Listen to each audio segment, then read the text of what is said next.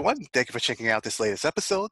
Today, I am with the head of Vesuvius Media, Konstantinos Manos. And today, nice to be here.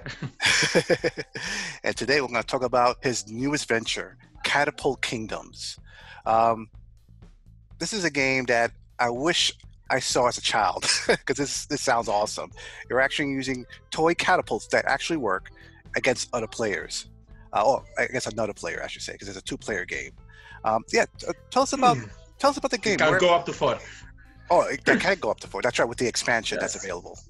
Um, yeah, yeah. So, uh, uh, tell us about the game. Where, where did the idea come from? So, to say the truth, this is not an original idea, using catapults to throw at each other. Like, pretty much, I believe any boy when he was young. yes, I remember creating uh, catapults out of anything, out of uh, rubber bands and a ruler, trying to shoot, make it look like a gun or anything. And uh, me and my brother would set up uh, imaginary cities with Playmobiles, with Legos, with anything, and then we're trying to shoot down and win points based on how many things you shut down. Uh, back in the days, I think that it was uh, 1983, uh, it was released. I was too young then, but uh, about five years later, I played it as a kid. It was uh, there was a game called uh, Crossbows and Catapults. About five years, ten later, there was another co- game called Weapons and Warriors or something like that. So there are multiple games that are similar to the logic, and uh, we got hooked with a couple of them, and we actually were combining them because these are uh, the thing that we loved about them were that you can get this game, and then you can get your Playmobil, you can get your Lego set, you can get your other things, and then a small game became like the entire floor. so so we really loved this, and uh, about a couple of years ago, I told uh, to my team that I want to do a game like that. I had so much fun. I have two boys myself. so, and uh, I have another uh, friend that has a boy and a girl. But uh, so girls also would like to include them in. The theme back then it was warriors, it was dragons, it was eh, not that much.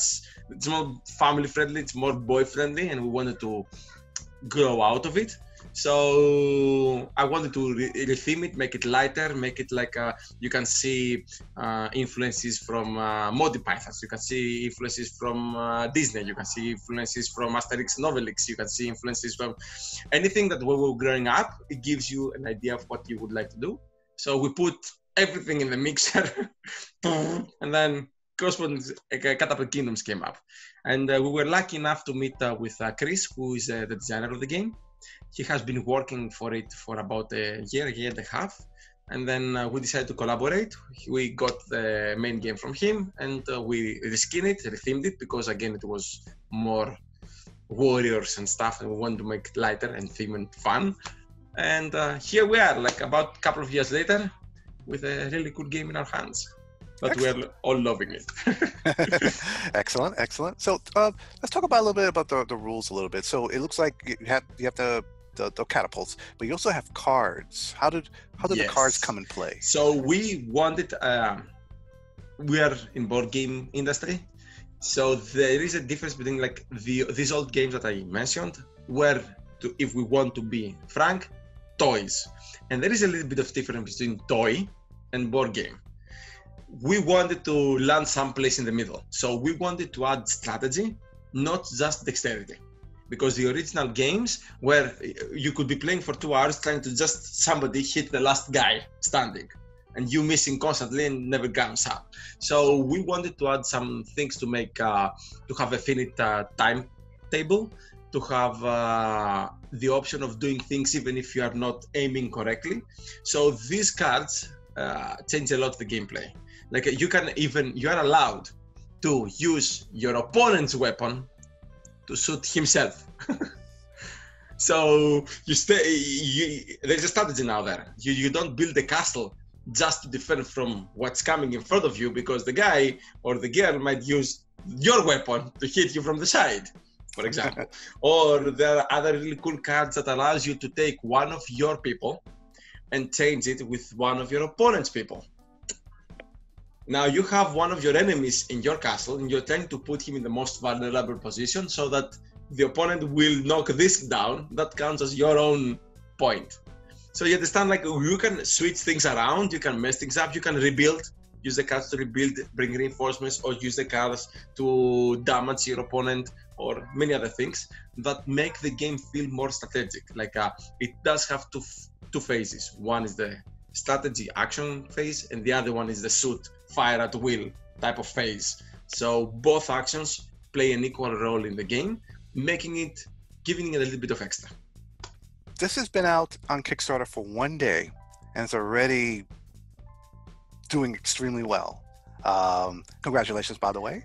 Um, yes. So yes. it looks like we still have many more days to go, um, and I and I know people are gonna, gonna keep. It's just gonna keep growing and growing. Um, what what stretch goals do you have in mind for this? What what in, So I have to be frank. This took us a little bit of a surprise. uh, we definitely we're looking of reaching uh, levels, uh, funding levels that uh, we definitely didn't think about it beforehand. But uh, we're adjusting uh, really fast, and um, I don't know how we're gonna end up uh, handling because we're still trying to find uh, good solutions. Uh, but we're gonna try to keep uh, things interesting. We are gonna definitely grow the siege expansion to its maximum. People are gonna get a lot of content. Uh, it's gonna. We had the the initial goal was to be to match it almost with the core game because it, we want to make it a little bit uh, less expensive. Uh, it seems that the Kickstarter edition is not gonna match. It's gonna be bigger than the, the core game. Uh, but uh, that's uh, why the the more the community supports, the more things uh, that we can give. We have uh, planned a couple of more uh, expansions that are gonna completely change the way the game. At least it's gonna give us the vision of how we see this game should go.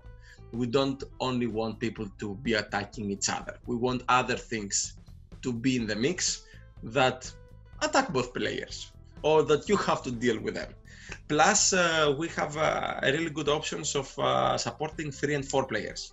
The way that our game is set up, it can support three and four player uh, uh, gameplay by getting a second box because you need more pieces.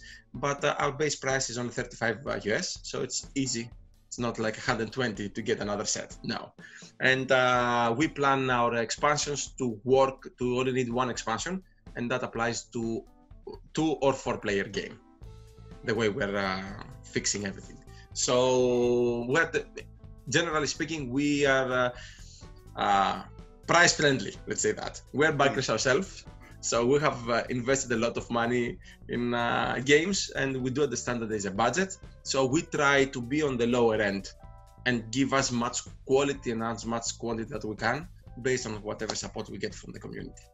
okay okay So for now, we're gonna stick to giving them uh, more bricks. We're gonna unlock uh, at least one weapon, maybe two. We'll see. I don't want to say too much here.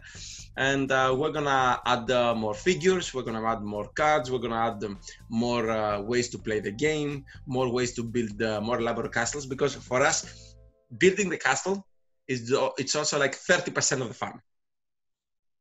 I know that most people just want to go destroy things, and that's actually how it was meant to be with the older type of games. Some of them you didn't even build castle; you just had the castle. They were trying to shoot the guys down. But here for us, building a really cool castle, it's half the game. and how to do it strategically, how to do the corners, how to make it more sturdy, how to do all these things. So we're gonna focus more on the giving you more building blocks to do as elaborate designs as you want. We're gonna give you some uh, weapons because it is part of the weapons too, and then we're gonna add some more strategy with uh, cards and ways to play the game that uh, are gonna spice things up. It is 2020. It's time for something a little bit more elaborate.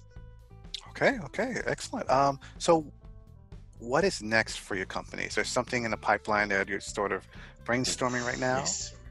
Yep, yep, yep. We have uh, uh, we have already we have two, three games. Uh, it's gonna take at least a year. Uh, the next uh, one, uh, the big one, hopefully around Christmas, is uh, a game that uh, a lot of strategy, a lot of planning, set in the United States, uh, Manhattan uh, area back in the 60s, 70s with uh, Bambino, Gambino, Al Pacino, and Al Pacino, Al Capone, and everybody else trying to control territories. Who's gonna get the Bronx? Who's gonna get the Queens? Who's gonna get the politics? Building, uh, having the boss, having the mini bosses, uh, trying to use your capos to control territories, pay, bribe the police, bribe the politicians. And this game is heavily based on actual historical events so while you're playing the game, the cards, the families, the events, everything is on historical records.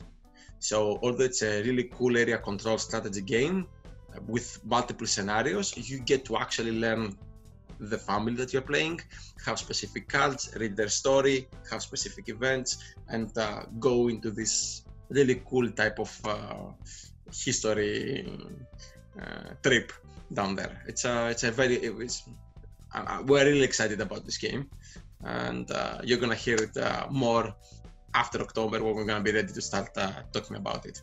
And then for next year, we're uh, planning uh, another Dwarfs game. Our Dwarf series is one of our most successful games so far. Catapult Kingdoms is coming up fast and uh, the Dwarfs uh, series is gonna have its uh, last installment the Dwarfs Summer the fourth season before we are ready to wrap it up with a campaign that's to connect all four games into one. So okay. yeah, we're having some really exciting titles coming up in the next uh, year. Okay, excellent, excellent. That that New game, I'm a I'm a New Yorker, uh, so that that really intrigues me. I can't wait to for that come out later this year. It's, we have been working on it for uh, three years now, three and a half. Hmm. Maybe like it's more, but uh, yeah, because we had to. You're gonna see when it's a, it's a game nothing to do with Catapult Kingdoms. You don't play it with kids. It's for grown-ups.